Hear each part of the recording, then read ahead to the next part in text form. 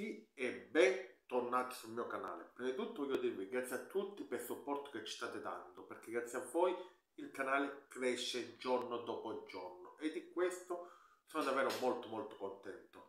Nel contenuto odierno parleremo della conferenza stampa del nostro mister Tiago Motta prima della partita con l'Empoli, ma voi nel frattempo continuate a supportarci con i mi piace, commenti e descrizione. Per voi è tutto gratis, ma per noi è fondamentale perché ci fa crescere come canale. Più cresciamo come canale, più portiamo contenuto, più portiamo nuovi format. Però abbiamo bisogno di voi, abbiamo bisogno della nostra community perché più cresciamo e vi prometto che faremo delle live con ospite perché come sapete a me non mi piace fare il monologo, a me piace avere un dibattito perché voglio conoscere anche il pensiero di tutti voi. Se faremo delle live, faremo le live con voi, con voi del, della community perché vi vogliamo sempre più partecipi al canale. E allora, io ho visto un Tiago Motta concentrato, un Tiago Motta che ha risposto a tutte le domande, ma il punto interrogativo qual è?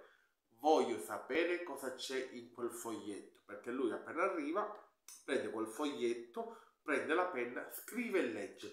Sono proprio curioso di vedere cosa c'è mai in quel foglio, perché a oggi nessuno gli ha chiesto, mister, cosa scrive in quel foglio? Un giorno, forse, a fine stagione qualcuno glielo dirà se le cose in casa Juve andrebbero bene. Ma quello che mi è piaciuto di più è quando lui ha detto qui non si deve fare gli interessi del mister, gli interessi del giocatore, qui si deve fare solo l'interesse della Juve, cioè quella di riuscire a portare alla vittoria la Juve, quella è l'unica cosa che conta ha detto su Cobb e su Douglas, sono due, due grandissimi giocatori, come, così come tanti altri della Rosa.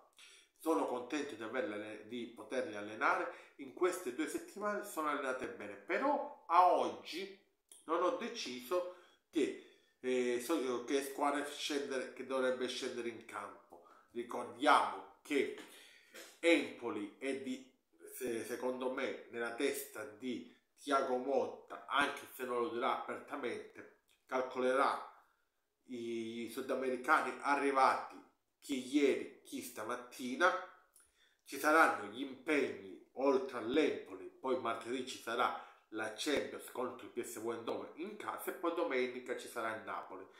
E deve capire come gestire bene il turnover perché parliamoci chiari hanno fatto pure questa domanda essendo che è la prima volta che è impegnato in un doppio confronto, cioè campionato e Coppa Europea, come, se, come lui e il suo staff sapranno gestire. Lui come ha risposto? Non cambia niente a, livello di turnover, si gioca, ci si allena e si recupera partita dopo partita. Noi pensiamo prima alla partita di domani, poi alla partita di martedì e poi alla partita di domenica. È un ragionamento giusto? Sì a oggi, come abbiamo, come abbiamo visto, Tiago Motta non guarda nessuno in faccia. Come ha detto, lui non guarda l'età, non guarda di che nazionalità è, non guarda niente. Lui guarda chi si allena bene, chi si prepara bene alla sfida di campionato di coppa. Oggi molto probabilmente non schiererà Nico Gonzalez perché non lo vuole rischiare, ma Nico Gonzalez faccio l'esempio, tu sai benissimo se non gioca domani sarà titolare in Champions. Il problema è un altro, il problema è che se non c'è Vlaovic, non hai il sostituto di Vlaovic. Poi è vero che Tiago Motta non gioca col, oh, col, col numero 9, però ha detto di Vlaovic porta grande entusiasmo, arriva sempre con grande voglia, energia positiva. Sono davvero contento di lui. Io lo vedo arrivare con quell'energia, con quella voglia di fare perché ha bisogno di essere lui l'attore protagonista perché lui è, secondo me, dovrebbe essere il punto di riferimento dei giocatori della Juve perché tanti big sono andati via. Se noi andiamo a vedere a oggi, togliamo Perin, chi è il giocatore che ha più presenze con la maglia della Juve oltre Danilo? Possiamo mettere eh, Vlaovic perché è quello che è più tempo alla Juve e lui deve essere quel leader che negli altri anni non c'è stato poi ha parlato anche di Azic, l'ho visto molto bene, sta allenando alla grande, però deve recuperare, ci vuole tempo. Io non guardo l'età, non guardo, cioè guardo chi sta bene.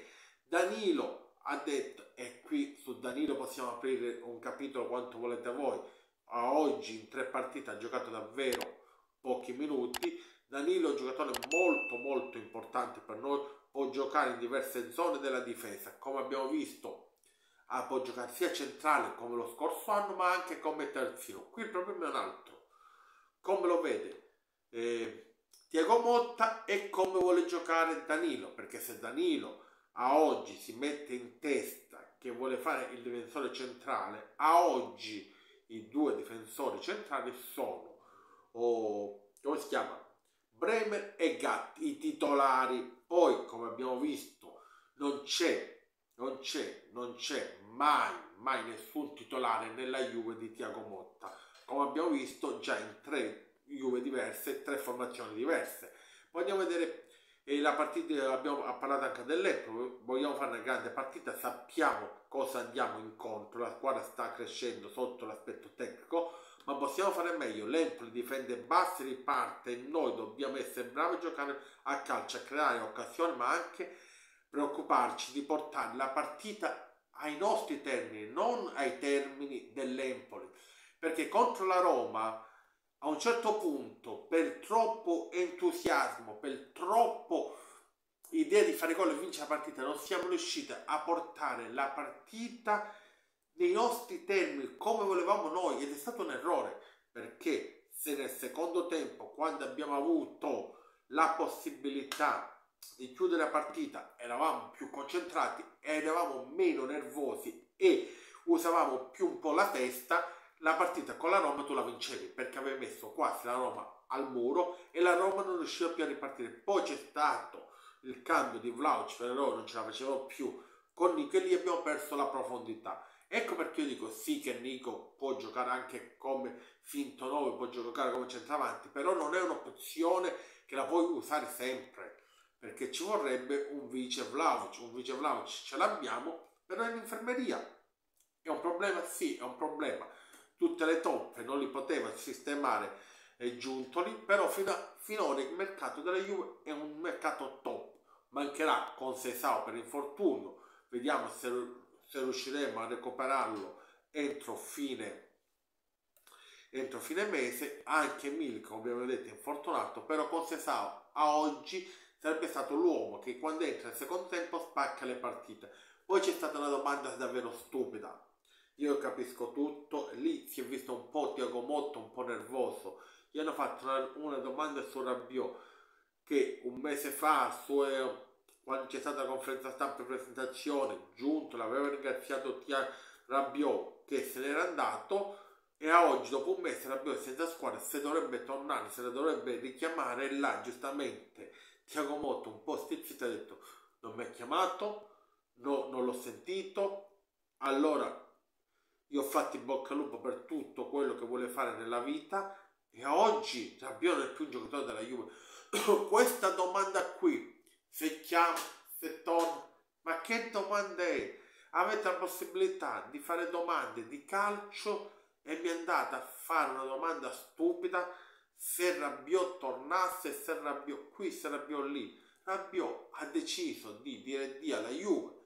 La Juve aveva proposto 7 milioni e mezzo per un contratto di due anni più tre di ingaggio di contratto, ha detto di no. Tutti noi, quando ha detto di no, pensavamo che avesse già la squadra, ma oggi che è il 13 di settembre, Rabiot è spasso. Rabiot si sta godendo la vita sul suo yacht però a oggi Rabiot è senza squadra, a oggi Rabiot ha perso pure la nazionale francese per errori suoi del suo entourage.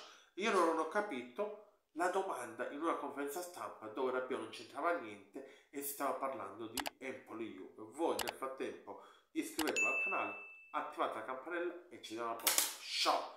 E